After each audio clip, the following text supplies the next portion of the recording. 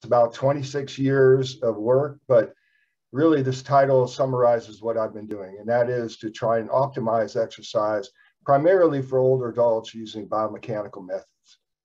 When I talk about optimizing exercise, I'm referring to maximizing the benefits while minimizing the risk and time and effort involved uh, with exercise. In doing that so, it's important that we know and learn about uh, physical demands of different exercise activities. And we do this using biomechanical tools, including force plates, motion capture, EMG, and modeling.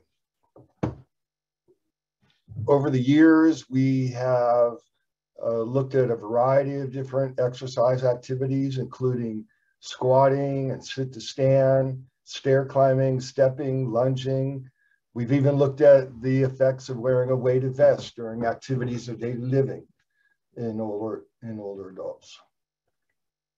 One of the largest studies, and one funded by the National Center for Complementary Alternative Medicine, was an intervention development study uh, where we looked at the physical demands associated with yoga and various yoga poses. The idea being that we could develop a biomechanically based yoga program that targeted all the important uh, functional muscle groups while appropriately sequencing the poses or asanas in order to reduce injury.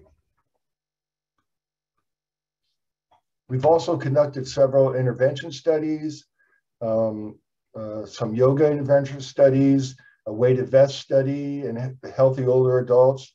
And in younger adults, we've compared barefoot versus shod running and looked at the effects of upper extremity loading on bone mineral density. As a result of these efforts, I was uh, invited to co-author uh, a paper by the American College of Sports Medicine. This was a position stand, which provided guidelines uh, for exercise in older adults in summary, that paper, we concluded that in order to have a comprehensive exercise program, older adults had to have these different components and that they should be practiced two to three days a week or up to 150 minutes.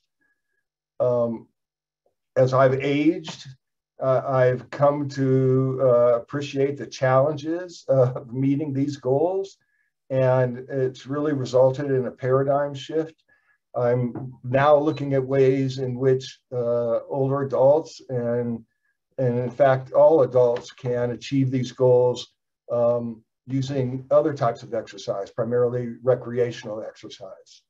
Uh, I've learned from my own experiences and from working with a lot of older adults that, uh, that we don't really like exercise. Um, but uh, it's more acceptable if we can uh, play and include those, those important exercise uh, attributes during play rather than uh, uh, structured exercise.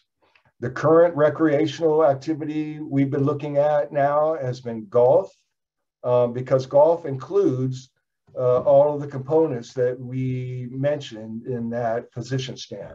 Additionally, golf has cognitive challenges and uh, psychosocial benefits as well.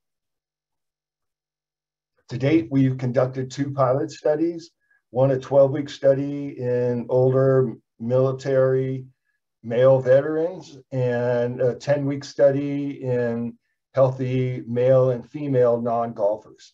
And our results have been uh, very positive. We found um, improvements in physical performance with large effect sizes, as well as cognitive function using the NIH cognitive battery. But perhaps most interesting and important of the findings were the fact that we had in both studies over a 90% attendance rate, which is really unheard of in most exercise studies, and no adverse events. We now hope to expand this to uh, clinical populations as well. That's it. Three